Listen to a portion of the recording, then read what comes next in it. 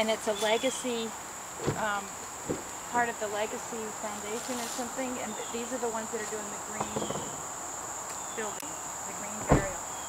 But it reminds me of like sunrise service and stuff with Uh-huh. crossing, and it's like a labyrinth where there's an exit from north, south, east, and west. It's just so simple.